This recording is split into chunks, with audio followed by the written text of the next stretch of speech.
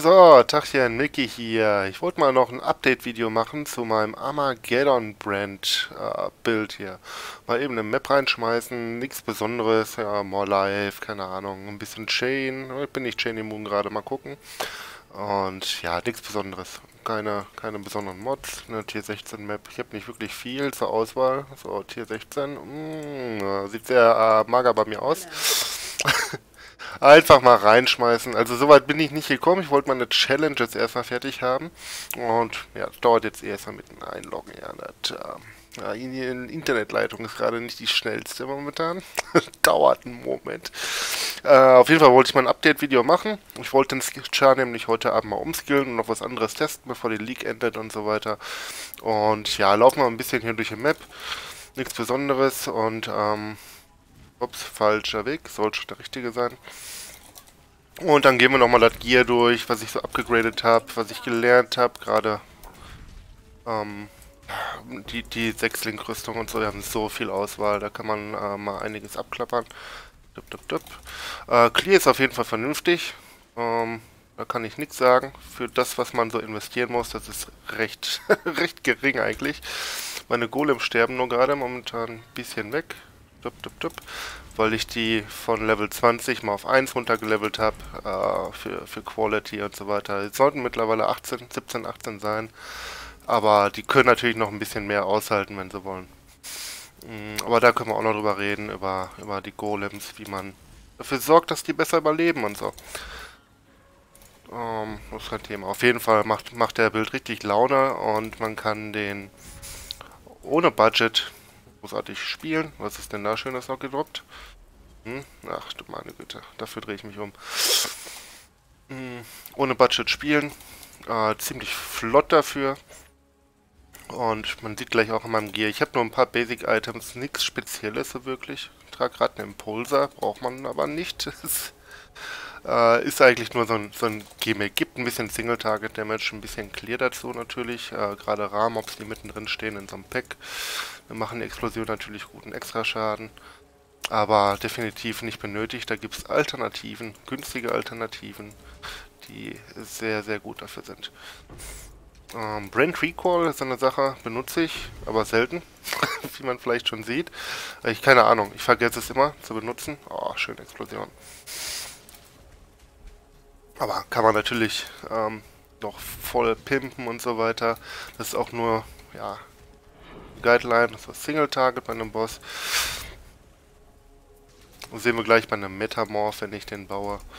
Single Target ist jetzt nicht der größte, aber auch nicht super schlecht. Ich habe jetzt nicht wirklich einen Vergleich. Ich habe nur einen anderen Char gespielt in der League, wie gesagt, ganz spät angefangen. Ähm, endet auch in zwei Tagen von heute aus. Ähm, hauen wir mal eben hier was rein. Dup, dup, dup, die dicken Sachen. Und mal gucken, was er so macht. Aber das Gute ist, ich kann einfach hier rumlaufen und allem ausweichen, ohne Probleme. Brands machen halt nebenbei schön Schaden. Zwischendurch mal so ein Brand Recall auf den Boss. Ich weiß halt nicht, wie viel Life Region der jetzt hat und keine Ahnung. Habt ihr auf Mods geachtet? Könnt ihr nochmal zurückspulen, was er hatte. hatte. Pause machen, wie auch immer. Aber es geht auf jeden Fall. Also, Normalerweise keine Probleme, außer ich baue Mist. Dann ist es natürlich was anderes. Aber Verteidigung ist recht gut an sich. Äh, kann man natürlich auch noch pimpen und so weiter. Man kann CI machen, Low Life machen, ähm, worauf man Lust hat. Äh, das Grundgerüst, das ist ziemlich flexibel. Und da gehen wir jetzt mal eben drüber. Also, Basics. Ähm, also ich benutze halt die Golems mit den Elementalisten hatten wir ja schon mal drüber geredet, Leisure Primordial, das gibt halt ohne Ende Damage, ähm, pro Golem 20% mehr Damage und so weiter. Und der ganze Buff-Effekt, der dabei ist, der macht den Feuergolem äh, noch total genial. Äh, gibt einen extra Schaden und so. Ich benutze alle fünf Golems, außer den Carrion Golem. Der bringt halt nichts. Und wir haben halt Bacon of Ruin, anstatt hier Mastermind of Discord oder so ein Müll. Pendulum ist noch okay, aber wir haben schon genug Increased Damage und ja, Mastermind of Discord finde ich nicht so toll. Ich finde Bacon of Ruin besser, weil, oder Beacon, Bacon, äh, Schinken, äh, Ruin-Schinken, wie auch immer. Äh, gibt halt more Ignite Damage. Wir machen Ignite. Schocken tun wir die ganze Zeit. Gibt schönen Effekt, Schild, wie auch immer. Das ist ganz nett. Conflux hilft damit mit der Uptime ein bisschen, weil zum Beispiel für Schock und Chill habe ich nur eine gewisse Chance. Äh, 5% für jede kleine. Und hier haben wir nochmal 5%. Und ich glaube, hier sind wir bei 15%. Irgendwie so. Das ist nicht die höchste ähm, Schock- und Chill-Chance. Außer dass, ähm, ja, Shaper of Desolation hilft natürlich auch noch ein bisschen on top. Ansonsten benutze ich natürlich die ganzen tollen Juwele, Anima Stone und so weiter, die Kenta, Maya Mordial, Eminence und wo haben wir es noch? Harmony. Mit dem Amulett zusammen kriegen wir dann nochmal für den Anima Stone nochmal einen extra Golem dazu. Und ansonsten habe ich ein Juwel mit Onslaught on Kill, warum nicht? Ja, das ist nicht der tollste, aber brauche ich eigentlich gar nicht mehr. Das wollte ich eigentlich schon längst austauschen, wie auch immer. Tausche das gegen Watcher's Eye ein. Watcher's Eye mit irgendeinem Clarity-Mod oder so. Man kann auch ein Level 1 Precision reinpacken mit hier Flason Crit oder sowas. Crit-Chance ist auch nicht so schlecht, 20% oder so ungefähr. Mit zwei Spells die ganze Zeit hitten. Das, das geht, kriegt man ein paar Charges in Bossfights, das ist eine Möglichkeit. Ich benutze nur nicht großartig Auren für ein Watcher's Eye. Uh, das ist die Sache. Bloß Onslaught und Kill, das ist noch ein Relikt von, bevor ich Cinder Speller Uhren hatte. Mhm. Ansonsten Mind over Matter sind wir. Äh, ein Mana Flask mit ähm, Not Removed und Full Mana. Ähm, ja, sorgt dafür, mitten im Kampf brauchen wir kein Mana, falls wir null Mana haben. Mhm, ist nicht schlimm, laufen rum. Die Casts, die laufen nebenbei, machen nebenbei Damage. Ansonsten halt Brand Notes, ein paar ich habe die unten hier mitgeskillt. Wenn ich jetzt CI wäre oder Low Life, würde ich hier äh, gar nicht erst runterskillen soweit. Ähm, dann würde ich wahrscheinlich ja hier aufhören, durchgehen, Face of Steel. Vielleicht AE muss man nicht mal, man muss da nicht mal rein. Wahrscheinlich sogar hier aufhören und den Rest hier irgendwo skillen. Aber so Standard Low Life CI Builds, was man so skillt, ähm, ist alles in der Nähe, muss man nicht. Selbst die Nodes sind nicht so toll. Äh, Brand Activation Frequency multipliziert sich halt mit Car-Speed, ist das Tolle. Dadurch kommen die schneller runter, die Dinge. Äh, ansonsten sind die Nodes jetzt auch nicht so klasse, dass man die unbedingt braucht. Ähm, spezieller hier ist nochmal das Brutal Restraint. Hm, würde ich auf jeden Fall nehmen, weil es gibt Flask Nodes, Elemental Damage Nodes, Minion Damage Nodes und so weiter. Und durch Minion Damage mit Spiritual Aid kriegen wir halt auch Increased Damage, was für Hits und Ignite zählt. Und ja, es gibt halt viel Decks. Ich brauche Decks. Ansonsten muss ich 30 Decks Nodes skillen, mehr auf den Gear holen, aber jede kleine Node und sowas gibt zwei oder vier Decks, das ist toll. Und wenn man nebenbei noch schöne Bonis rausholt, man kann sich die halt divine für bessere Bonis oder einen anderen Spot nehmen. Ähm, der Punkt zum Beispiel ist auch nicht schlecht, da haben wir auch viel. Und wenn wir einen tollen Boni haben, zum Beispiel auf Endurance Charge nochmal, keine Ahnung, 5% Chance, äh, Frenzy Charge und Kill zu kriegen oder so, dann lohnt sich das natürlich, zwei Punkte auch noch reinzupacken zusätzlich. Ähm, oder andere Nodes halt, ne? Ähm, aber wir haben zwei richtig gute Spots mit dort und äh, hier unten. Der geht vielleicht noch. Mhm.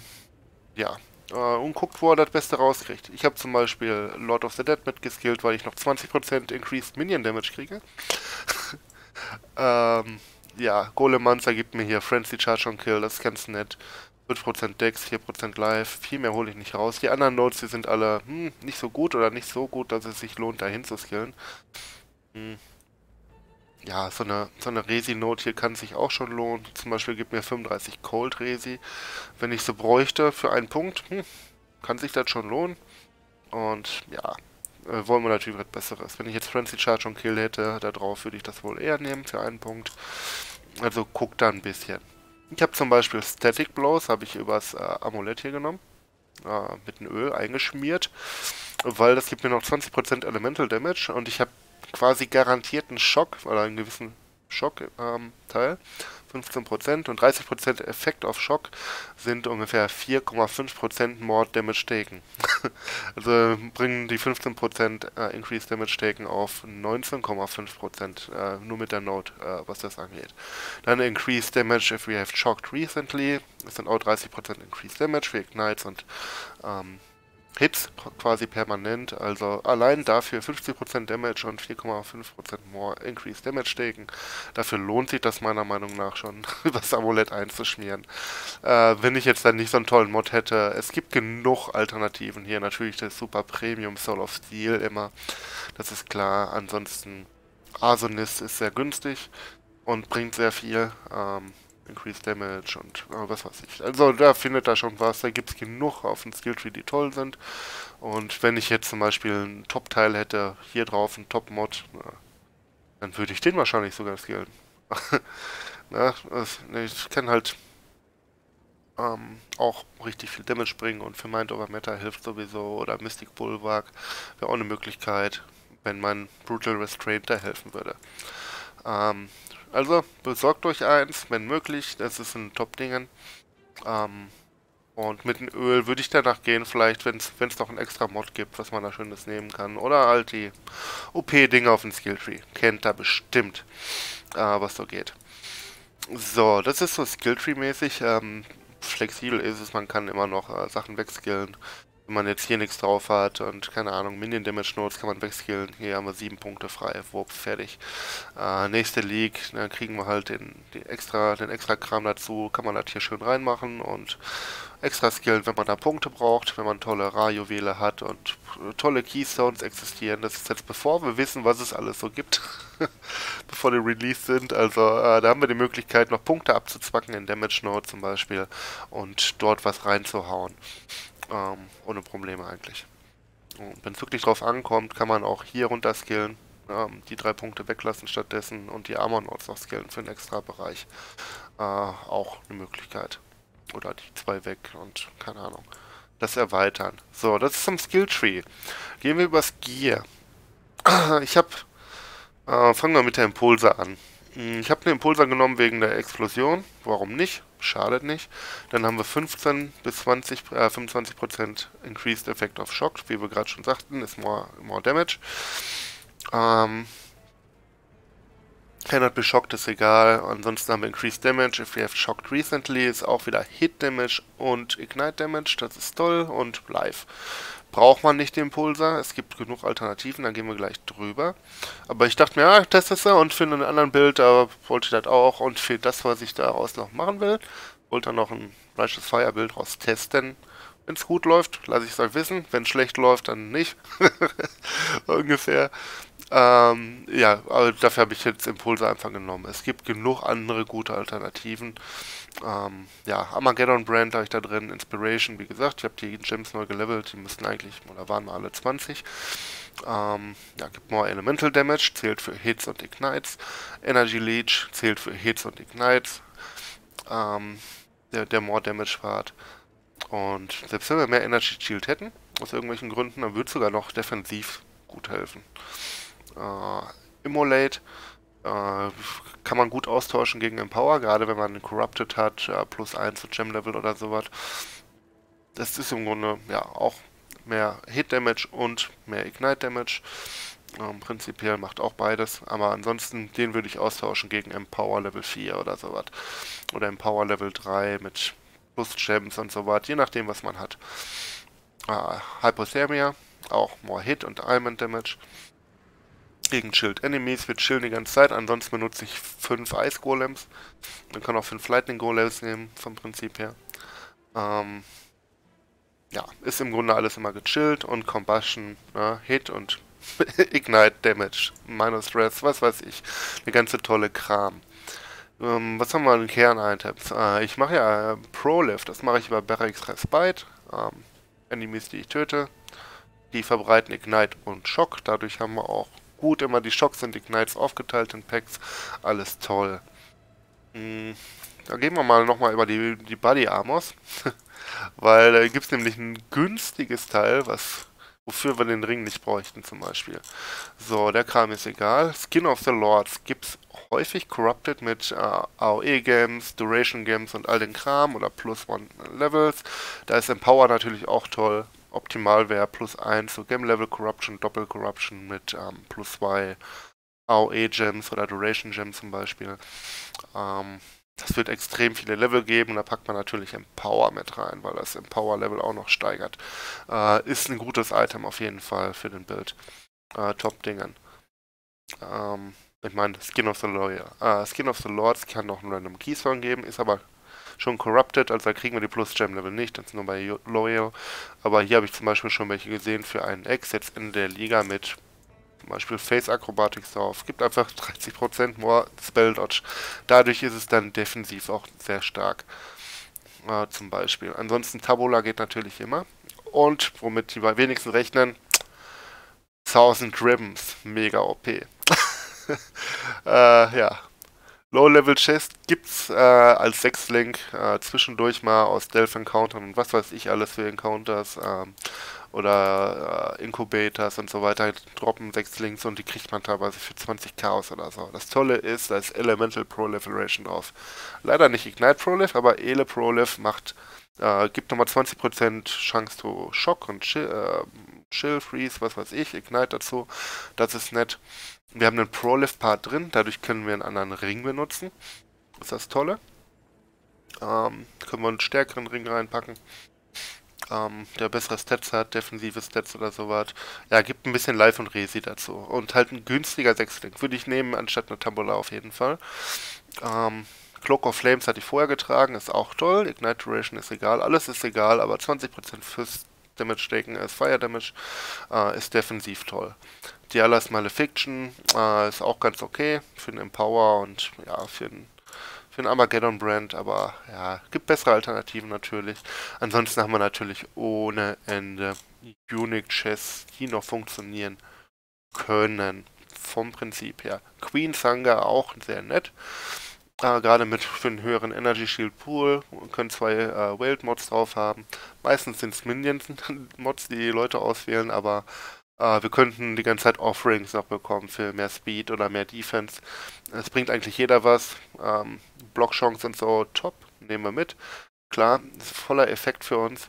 Und für die Minions, äh, die halten natürlich auch gut was aus dadurch. Wir kriegen Speed dadurch oder wir kriegen äh, mehr Energy Shield durch Live, was einen guten Puffer gibt. Äh, Gerade mit dem Energy, Energy Leech Support drin. Ansonsten gute Stats. Also das ist auf jeden Fall auch ein Top-Teil. Eher defensiv, nicht offensiv, aber hm, auch gerade für die Golems. Wenn es einen nervt, dass die Golems mal sterben oder so. Top-Teil, kann ich nur empfehlen. Hm, ja, ansonsten Loreweave geht natürlich immer, Sporgard geht, Ivory Tower wäre wieder ein anderer Bild ähm, vom, von der Defensive her, aber ist auch eine Möglichkeit zu benutzen. Äh, Cloak of Defiance würde auch gehen. Ja, Bloodborne gibt den Minions halt gut live, gibt uns Live-Rack.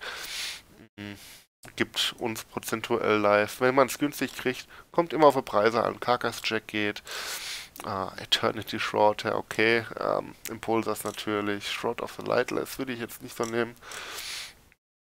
Uh, Shadow Stitch ist auch noch okay. Es gibt schön Life und Energy Shield on Kill.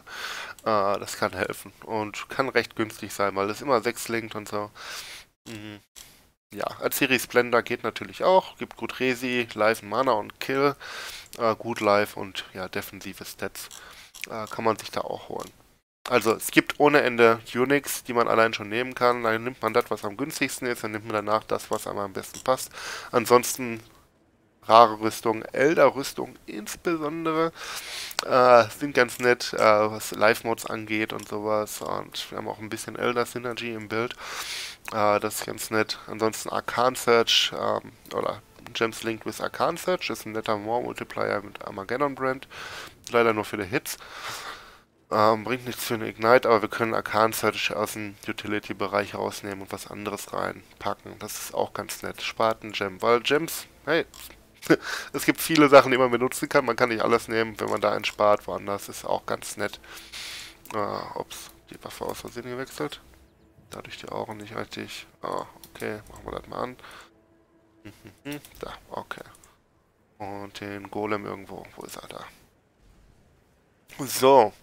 Ja, ansonsten habe ich natürlich Malachite Artifice.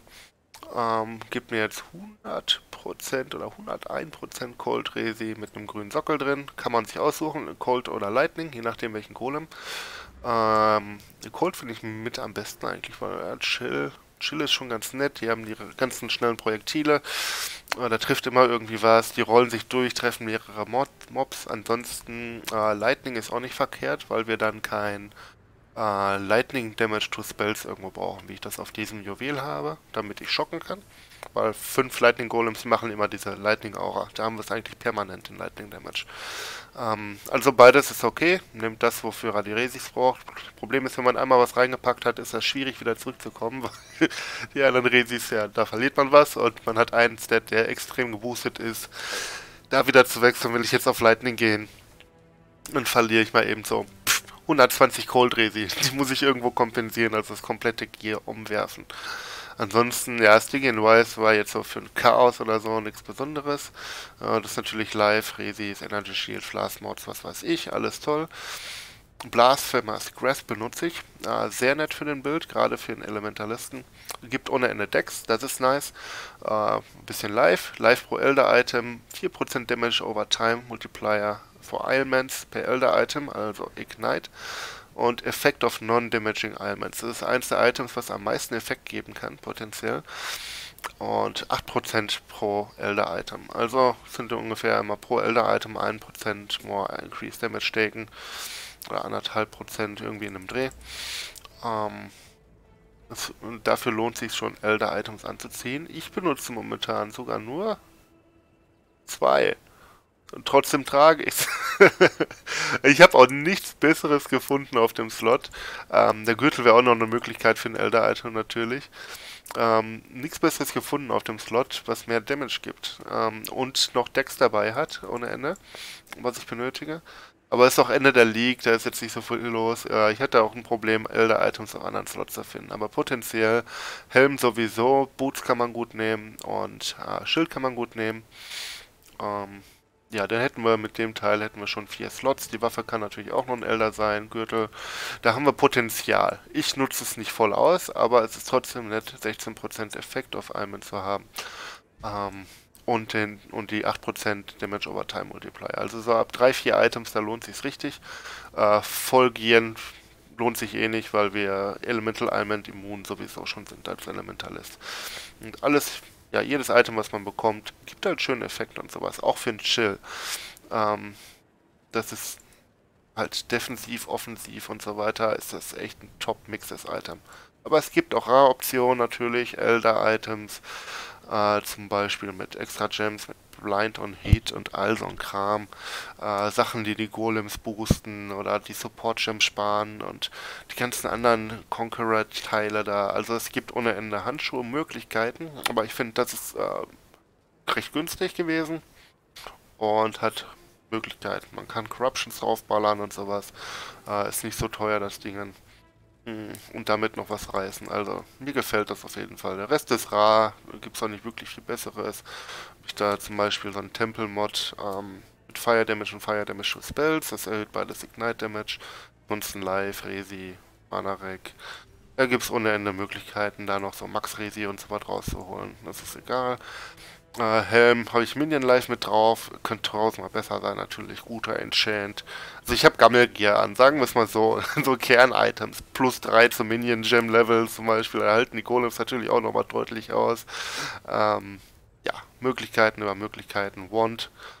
War ich froh, dass ich Trigger Socketed Spell when you use a skill hub äh, reinbekommen habe. Ansonsten hat er auch wieder Fire Damage, Fire Damage für Spells. Auch wieder einen Temple Mod, Fire Damage, Overtime Multiplier. Viel mehr gibt's auch nicht. Cast Speed, ja, Increased Fire Damage, sowas alles noch. Spell Damage geht auch noch. Und so in der Art soll das aussehen. Und da habe ich Flammability drin, Purifying Flames, Wave of Conviction. Ähm, ja, reduziert Resi. Reduziert Resi gibt in äh, Consecrated Ground. Dafür habe ich es drin. Das trägt nämlich gut HP für mich und für die Golems. Das ist ganz nett. Aber das ist, Alter, kann man noch was anderes reinpacken. Man kann auch einfach ein äh, Bone Offering reinpacken, Spirit Offering, wie auch immer. Äh, das ist eine Möglichkeit. dann halten die Golems natürlich deutlich weit aus zwischendurch. Ähm, Desecrate kann man reinpacken und immer noch Selfcast Wave of Conviction reinpacken. So eine Desecrate Offering Combo ähm, ist eine Möglichkeit. Ähm, ja, die Möglichkeiten sind äh, unendlich. Ja, ich habe Portal in der Handschuhe. Righteous Fire, war Righteous Fire, Brand Recall und Enduring Cry. Enduring Cry finde ich ganz nett für die Charges, das hilft immer gut. Ähm, mit dem Überleben, gibt auch gut HP weg äh, für die Zeit, wo es oben ist. Brand Recall ist klar. Righteous Fire, um, ja, 27% more Spell Damage braucht man nicht unbedingt. Portal braucht man auch nicht unbedingt. Also wenn er Gem Slots braucht, ähm, ja, ihr könnt Brand Recall in Enduring Cry eine Waffe packen, wenn ihr kein Trigger-Dingen habt und Wave of Conviction, Curse on Hit und Flammability zum Beispiel in Handschuhe oder auch da rein. Ach, da gibt es Möglichkeiten ohne Ende. Sonst sage ich Flame Dash, Steel Skin, Arcane Search und Increased Duration. Also mein Steel, Skin gibt mir auch Arcane Search zum Beispiel. Ich habe es auf Linksklick gemacht. Dadurch habe ich allein schon, okay, Arcane Search Level passt gerade nicht, muss ich ein Level runter machen. Aber vom Prinzip her habe ich dadurch allein schon permanent Arcane Search oben. Und ich habe es auf Linksklick gepackt, weil ich immer vergesse, das zu benutzen oder zu timen. So habe ich es immer oben. Es stört nicht beim Rumlaufen, man blockiert nichts, man visiert nichts an. Das ist so einer der Skills, den kann man gut auf Linksklick packen, genau wie Molten Shell oder sowas. Es ist einfach die ganze Zeit oben, wenn man es benutzt. Das ist so, ja, im Grunde wie, wie Shaper of Desolation hier. ähm, das, das wechselt halt. Ich hab's mal oben, ich hab's mal nicht oben. Ist ganz nett. Kann man natürlich auch Selfcast irgendwo hier reinpacken und gut ist. Mm, ja, ansonsten Flame Dash natürlich für Arcane Search. Deswegen habe ich jetzt auch den Game Level nicht so angepasst, weil ich Flame Dash eh die ganze Zeit rum. Ich habe das eh immer oben, von daher muss nicht unbedingt sein, dass das mit da gelingt ist. Ähm, ja, das war's, glaube ich, mit den Gems. So, Clarity, Herald of Ash, Enlighten, ist klar, glaube ich. Hm, Clarity braucht man nicht unbedingt. Herald of Ash gibt halt more, more, more um, ähm, Spell Damage und gibt noch ein bisschen extra AOE beim Clearen. Hm, bisschen Overkill Damage und so was. Nicht ganz nötig, wenn man wirklich das ganze Mana frei haben will, defensiv, kann man das auch weglassen. Hm ja, die Golems halt im Helm und da drin. So, Flask habe ich Bleed Removal auf meiner HP Flask, Movement Speed, Quicksilver ist klar. Curse Removal auf einer Neverending Mana Flask, weil warum nicht? Ähm, ja, Cinder Sweller Uhren, nicht die besten Rolls, aber wir igniten immer, also immer 10% Increased Damage taken. Wir kriegen Charges wieder, wenn wir, ja, ja, das machen wir nicht, aber Wir kriegen halt schön Live-Mana und Kill und sowas. Das hilft gerade bei Dot-Builds, die nicht groß leechen. Ansonsten der extra Mod, ist ziemlich mies, aber ich habe nichts besseres. Ein Series Promise noch, weil ich wenig Chaos Razy habe. Und ja, wir kriegen dadurch noch ein bisschen Leech. Mit einem Elemental Damage ist extra Chaos. Ist auch nicht verkehrt. Gibt ein bisschen Defense.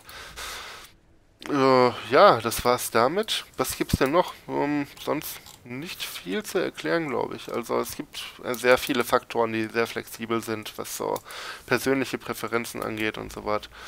Ich fand jetzt die Combo am besten für mich, die hat mir am besten gefallen. Hm. Ja, Alternativen gibt es ohne Ende, CI-Version, was weiß ich. Ich finde halt den Effekt, den, den Status-Effekt. Dup, dup, dup ähm, wir haben halt immer diese 15% Shocks, den 30% Effekt auf Non-Damaging Elements. Äh, ist halt super, super stark für Chill und Shocks, auch für Bosse halt. Mhm, besonders der Schock in dem Fall, um extra Single-Target-Damage rauszuholen für Hits und Ignites. Mir war es wichtig, beides zu skalieren und nicht rein auf Ignites zu gehen, kein Ignite-Prolif reinzupacken, Deadly Elements oder sonst was, weil der Damage ist bescheiden für, für Single-Target mit Ignites. Ist einfach so, ist Fakt. Außer so zwei, drei verschiedene Skills. Äh, Armageddon Brand geht nicht, gehört nicht dazu, um extrem guten Ignite-Damage zu machen. Deswegen beides Hit und Ignite. Ignite hilft schön beim Clearen, ein bisschen extra Single-Target-Damage. Und der Hit-Damage, der macht halt den Großteil aus. Und ja, wenn man beides skalieren kann, gerade Elementalist mit einem Schock, dann gehe ich da auch voll drauf. Warum nicht? Deswegen auch die, äh, die Gems zur Auswahl. Nicht unbedingt die stärksten, kein Controlled Destruction zum Beispiel ist stärker wie manch andere, wie, stärker wie Energy Leech zum Beispiel, aber da es auch Ignite skaliert, habe ich das lieber drin. Ähm, ja, Gems und so, wie gesagt, flexibel, wenn ihr keinen Trigger habt, benutzt Wave of Conviction Selfcast und dann ist gut. Ähm, mit Curse on Hit. Decks kann man immer skillen, wenn man es braucht. 30 Decks kriegt man hier irgendwo. Hm. Ja. Ja. Gute ist Elemental Overload. Ist ziemlich häufig oben, weil wir haben auch mit dem Lightning Golem, wo haben wir die Crit-Chance stehen? Ich sehe es nicht, ich finde es nicht. Es ist Wetter. Spell-Crit-Chance 20,16%. Spell-Crit-Chance mit einem äh, Elemental Overlord-Bild, das ist schon ganz nett. Ja, man könnte schon fast ähm, ja, auch Crit ähm, Dingens gehen. Äh, Armageddon Brand. Ein paar Notes umskillen hier. Wupp, da kann man rein, hier kann man rein. Dafür so Damage over Time Multiplier Mods hier wegmachen. Hier die zum Beispiel, da weg. Und eher Richtung Crit gehen, wäre auch eine Möglichkeit. Hey, Assassin's Mark irgendwo, Corruption drauf. Möglichkeiten gibt es, äh, das zu verändern. Ich fand so am geilsten. und äh, war sehr zufrieden. Also von Tier 1 bis Tier 16 beim Leveln alles super entspannt, alles gut. Keine Probleme gehabt, alles läuft immer flüssig. Ähm, manchmal Damage Spikes, so One-Hits sind mit dem AP und Mana Pool äh, doch manchmal tödlich. Gerade so Metamorph kann man mal one-shotted werden mit dem Setup. Aber mein Gear ist jetzt auch nicht perfekt. Standard Unix, nichts Besonderes und die Rar-Items, die ich benutze, die sind jetzt auch echt nichts Spezielles. So. Ähm, keine super teuren Sachen, da hat nichts über ein X gekostet, also mh, hm, teilweise nur so 2-3 Chaos, also ja. Ihr kriegt eine Idee, ähm, was, was hier abgeht, was ich geplant habe, glaube ich. Und es ist ein super League-Starter. Ich denke nicht, dass da groß was genervt wird, eher gebufft wird. Also kann man sich das schon mal im Hinterkopf mal notieren. Vielleicht ist das was für euch. Äh, ich fand's fand es auf jeden Fall sehr spaßig. Das nächste, was ich testen werde, wie gesagt, ähm, den umzuskillen ein bisschen Richtung Righteous Fire. Ähm, mal gucken, wie die Stone Golems sich oben halten und so weiter. Ein paar Items und Gems tauschen natürlich. Aber auch äh, so ähnlich wieder Ignites und Hits skalieren und so weiter. Äh, es gibt halt auch noch ein bald ein neues, neue Unicorn-Schuhe, hatte ich schon besprochen. Die sind auch nicht verkehrt für sowas. Äh, mal gucken. Das wäre auf jeden Fall eine gute Alternative zu Blasphemous. Hm. Ich wollte mal gucken, wie, wie gut er clearen kann, wie gut Single Target ist, Sustain ist. Einfach so aus Interesse. Dann hat man noch einen schönen Tag. Bye, bye.